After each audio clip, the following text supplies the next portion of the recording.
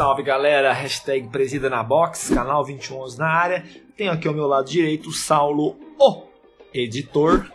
Caixinha preta do Jordan, né, Saulo? Caixinha preta, padrão. Padrão, não vou nem mostrar porque é padrão. É... Pediram, é, bastante gente pediu para trazer esse modelo. Insistentemente pediram para trazer o modelo. Fizemos, fizemos aqui a nossa mágica, né? Aquela mágica conhecida da daquele negocinho de plástico quadradinho que tem uma senha que parcela em 10 vezes sem juros e trouxemos o texto para vocês. Já deixa no comentário aí quem tava esperando para sair o unboxing Exatamente. desse tênis. Vamos mostrar o nome aqui para vocês saberem o que, que se trata. Jordan Superfly MVP. Show de bola, hein? Show de bola. Vamos abrir a caixa e vamos pegar a criança. Pega vocês Esse tá? é meu. Esse é seu e o outro é meu. Livre-se da caixa. Aí, pronto. Aí, galera. Jordan Superfly MVP. Muito bacana o tênis. Esse azulão brilhante aqui, né? O tênis é muito da hora, muito bacana. Muita coisa legal nesse tênis, tem bastante coisa para falar dele, a gente vai mostrar todos os detalhes para vocês aqui. Vamos começar falando do cabedal, né? Malha, muita malha, parte em azul aqui toda ela em malha. Logotipo Jumpman em preto aqui pro lado de fora do pé no calcanhar. Aqui no calcanhar, provavelmente dito, ele tem essa parte emborrachada. Cara, ele é React. Será React. que o que sobe aqui é React? Eis a dúvida. Eu quero ver quem que vai colocar primeiro para mim nos comentários o que seria esse material que sobe aqui. Se é só uma parte emborrachada ou se é um React. Eu acho que é só entressola emborrachada, não é o React. É mas firme, mais firme, né? Mais firme, mais firme. Eu acho que o contraforte do tênis é. Ele tem um contraforte interno e tem mais isso daqui de contraforte, dá pra perceber. Aqui no, no calçador, ó, bem legal. O escrito Superfly, olha que bonito, em azul também.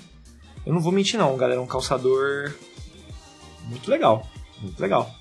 Os dois últimos íris ele tem o número 23, ó, escrito neles em azul também. Um plastiquinho. Um plastiquinho, é de plástico. Aqui na língua ele tem Jumpman e o 23 também. Tudo em azul, galera. É azul sobre azul, tom sobre tom.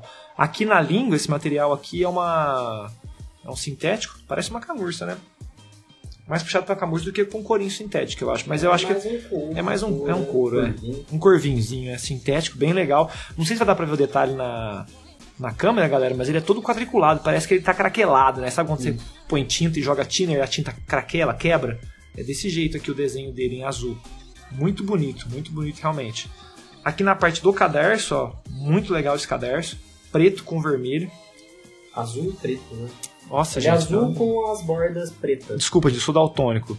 É preto com azul. Disfarce.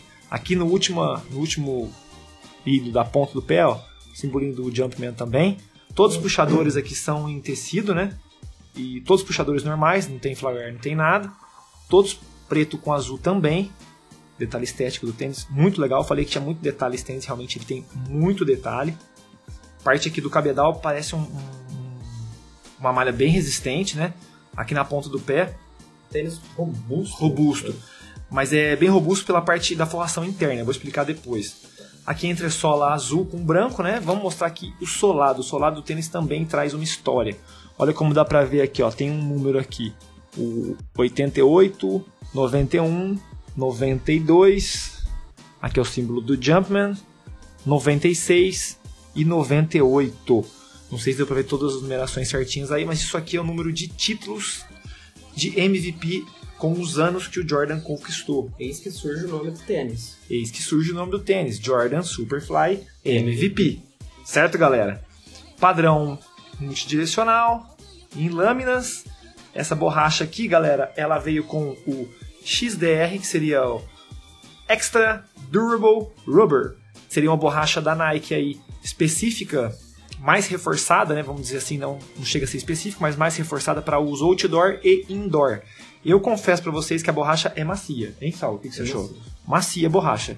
Eu confesso para vocês também que eu não colocaria isso aqui para jogar no outdoor, porque eu acho que isso aqui não vai aguentar nada no outdoor. Apesar de estar tá falando que é XDR, mas eu não acredito que isso aqui vai ser muito durável é, num outdoor. Mas enfim, galera, muito bacana, tá aí o detalhe estético do solado do tênis. Vamos mostrar agora ele aberto para vocês entenderem o porquê dele ser robustão assim.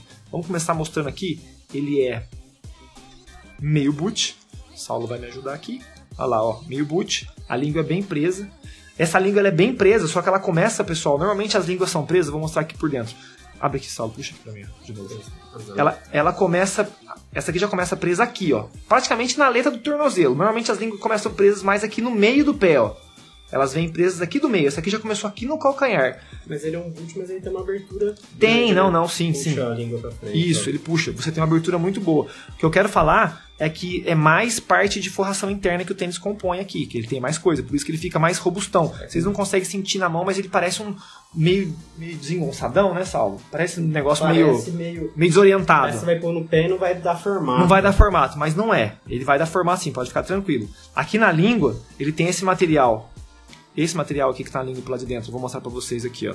Esse material aqui, que parece uma. Parece um. Como é que chama, Salvo? Esqueci o nome, meu Deus do céu.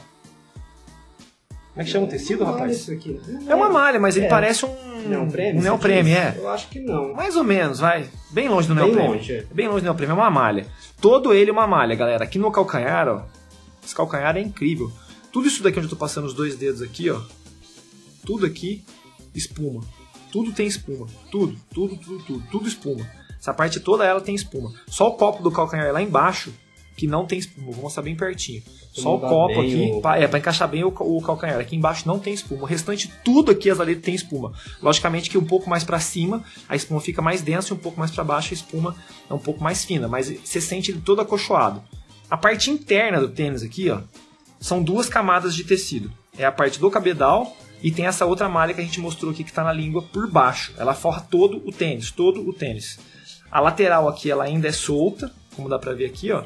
Ela ainda é solta pro lado de dentro, ela só é fixa aqui na ponta do pé, para deixar a ponta do pé um pouco mais firme. Mas o resto aqui você sente que são dois, duas camadas de tecido totalmente separadas umas das outras.